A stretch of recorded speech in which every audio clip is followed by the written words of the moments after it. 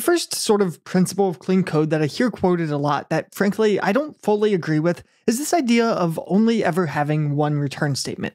So here we have this function find user by name, and all it does is it takes in this array of users and a name, and it just iterates through the users until it finds a user with this name and it returns that user. Otherwise, at the end, it returns null. Now, some people will argue that this has two different return statements, and that's not a good thing. So the sort of solution to this, and I'll just copy this entire function, would be to not have the extra return statement. So the way we can do that is by saying let's, and let's call this found user is going to be equal to null initially. And we're going to simply return our found user instead of null at the end. Instead of this return statement, we're going to update found user. So we can say found user is going to be users at i.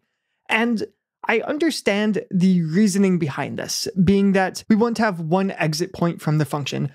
And oftentimes this is true and it leads to better code, but also oftentimes it leads to worse code. Like you might have not noticed that the change I just made actually made this code less efficient. What I mean by that is that this version of the code is going to stop when it finds the user. However, this version is still going to have to iterate through the entire array. Now, this might not be a huge issue, and even if it is an issue, you can simply add a break statement and it's no longer a big issue anymore. But now I would argue you've actually made the code less readable by having this extra break statement. But also, what would happen if, say, you wanted to have a guard clause? So, say before any of this, you wanted to say if the name is equal to null, then we simply want to return null. But now we have an extra return statement. This would be fine in the original version of the function, but in this version where we say we only have one return statement, we no longer are allowed to do this. We could of course get these same results by not having this, but now if the user is null, we're still going to iterate through the entire loop for no reason. And if we put it back, we could try something like setting some Boolean flag that's like skip over the for loop, but that's definitely less readable. So essentially my point with this one is yes, in most cases, try to have a single return statement, but that doesn't mean that's always going to be the case. Sometimes you want to use guard clauses with return statements there, and sometimes it just makes more logical sense to have multiple return statements. And if that's the case, don't feel like you can't do that. And by the way, all of the examples in this video come from different books and blog posts about what clean code is that I either disagree with or that I think are oftentimes sort of misunderstood. Additionally, a few of them come from more anecdotal experience with some of my own students and mistakes I've seen them making, as well as just newer developers in general. Next, I want to look at what's called the dry principle, meaning don't repeat yourself. And I think this is by far the most misused principle in all of software engineering. So here we have two functions, calculate discount and calculate tax. Both of them take in a price and return price times 0.1. So this is representing a 10% discount, and this represents a 10% tax. So you might say, okay, I've been told not to repeat myself, not to repeat my code. So what I'm going to do is add another function that's going to be calculate 10%. And this is going to take in some price and it's going to do the same thing. So it's simply going to return this price times 0.1. And then we could use this function instead of ever needing to use these functions. But I don't actually think this is a good idea. And this is not even what the dry principle is supposed to mean. This is a misunderstanding of that principle. What I mean by that is that the dry principle is meant to say do not repeat business logic. Don't have the same logic appearing in multiple places in the codebase. But that doesn't mean you can't just coincidentally have the same line of code in multiple places. Calculating a discount and calculating a tax are two different things. It is just a coincidence that in this case, a discount is the same rate as a tax. But if, say, later down the line, we decided that we wanted the discount to change, but taxes are still the same, well, now we would have to delete this function and go back to these functions so the numbers could be different, or maybe we could add some parameter for it, but regardless, we couldn't just stick with this function we have here. So in my mind, this is a bad refactor, and I think an easy way to determine that is that there is a good chance that sometime down the line, we're going to have to unrefactor the code because it is controlling multiple things that are not actually related to each other on a business logic level. One thing I see a lot with beginner programmers is this tendency to overcomment absolutely everything. And I think it comes from a good place because as a beginner, you have a harder time understanding what code does. So the expectation is so does everybody else. So I should try to make it as easy to understand as possible, but actually it sort of does the opposite of that. So for example, we have this calculate rectangle area function that takes in a width and a height. And obviously, this is going to take those numbers and return to us the area of this rectangle.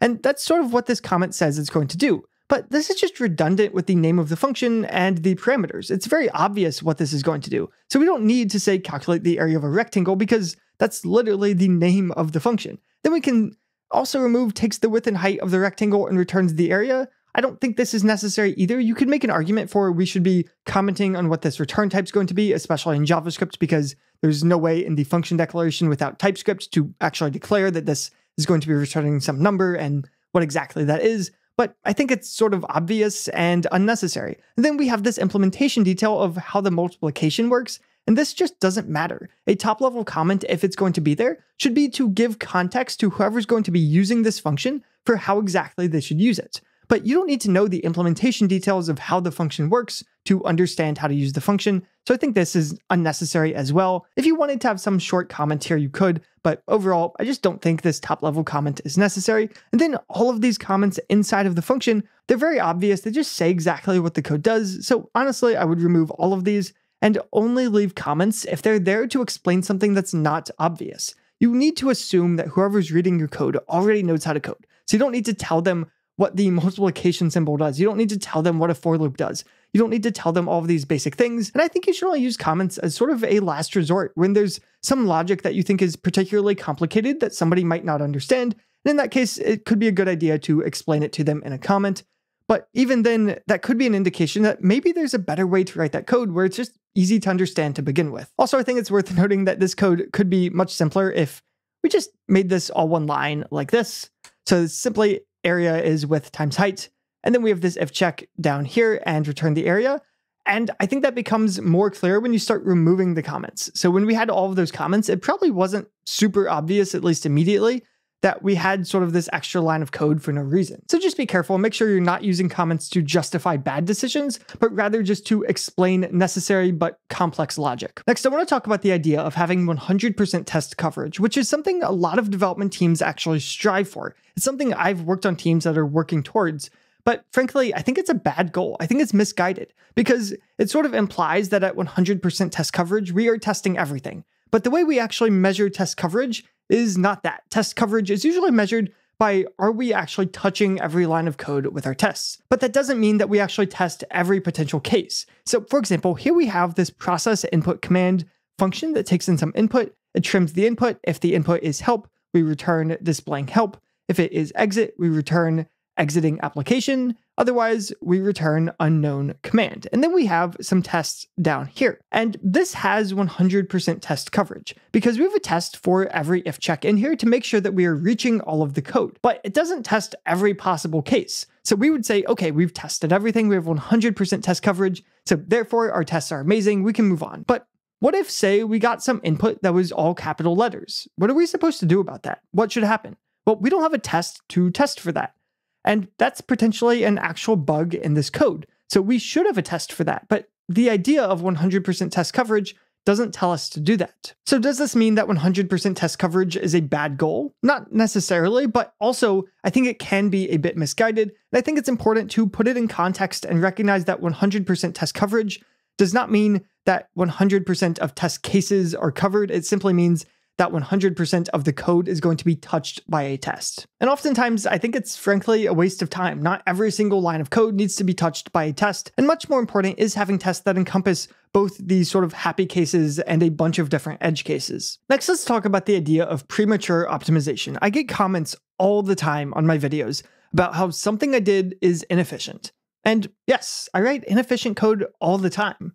And that's okay. In fact, that's oftentimes better. So for example, here we have this find largest number function, and it returns math.max, and it spreads this numbers array. So we can see it takes in these numbers, and in this case, the largest number is 204, so that's what it returns. And somebody might say, you probably shouldn't be using the spread operator on this numbers array, especially if it's super big, this could be very slow. So maybe instead we should use this version of the function down here. So this version just uses a traditional for loop and just iterates through the numbers array and it finds the max that way and then returns it at the end. And is this more efficient? I don't know, maybe a little bit. I don't know exactly how math.max is implemented or exactly the overhead of the spread operator in comparison to everything we're doing here. But the point is that it just doesn't matter. This code, I think, is easier to read. This code, I think, was easier to write.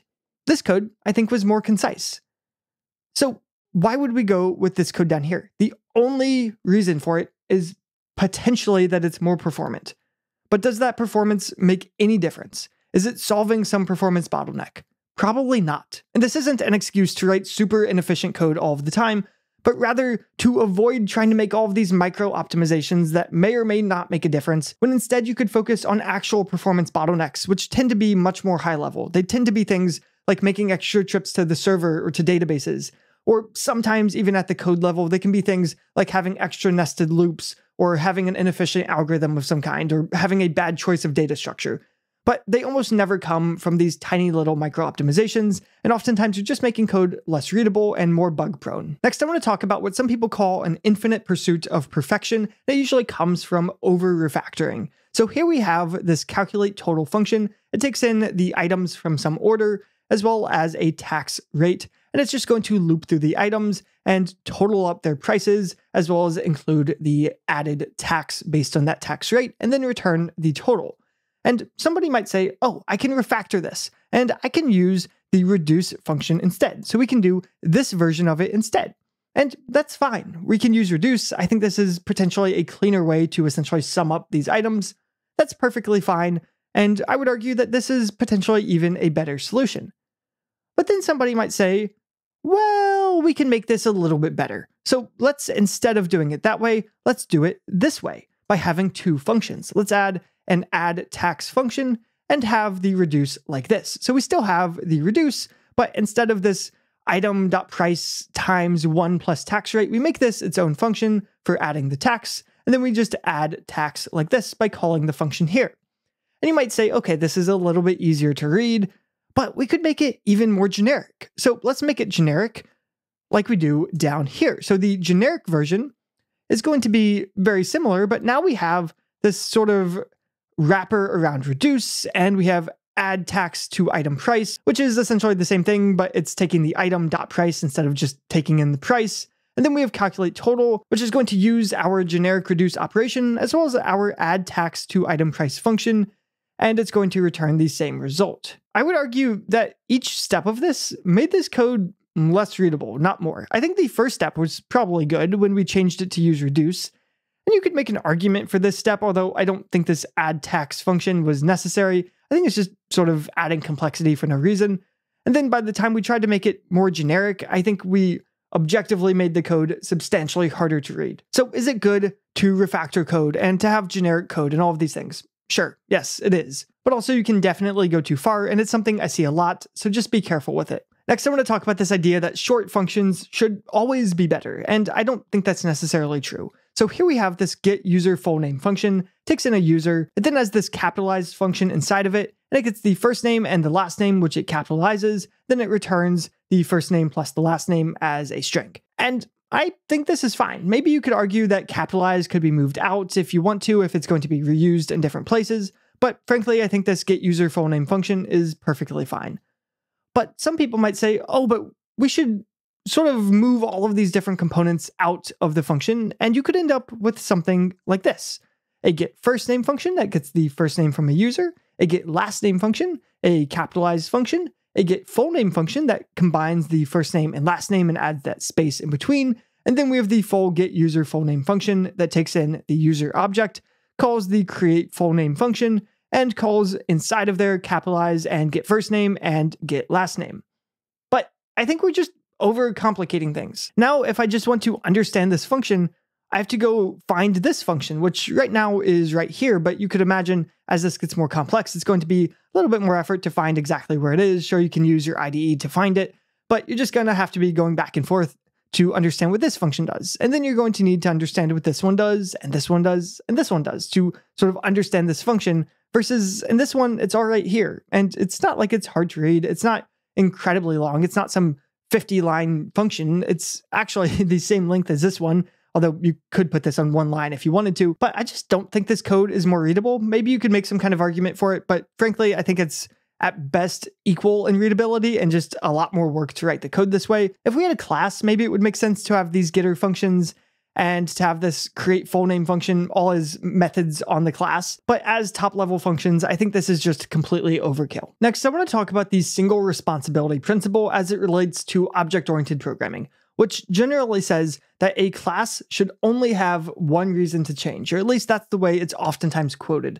But I think a much better way to describe the principle and sort of the essence of what it's supposed to represent is that a class should only have one purpose. So here we have a logger class with a few methods. We have log, we have create message, format message, and write log. And I'm not going to go through all of them, but they're all related to logging.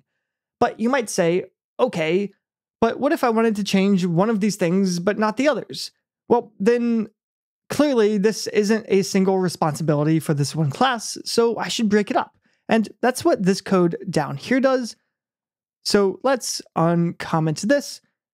And now we have all of these smaller classes, log message creator, log message formatter, log writer, and we can see they're all sort of used together. But what's the point of this? These classes are closely related to each other, and we're ending up with all of these sort of micro fragmented classes, which I just don't think is a good idea. And I don't think the original class ever actually violated the single responsibility principle, because this class up here its purpose is for logging. It has one responsibility, and that's logging.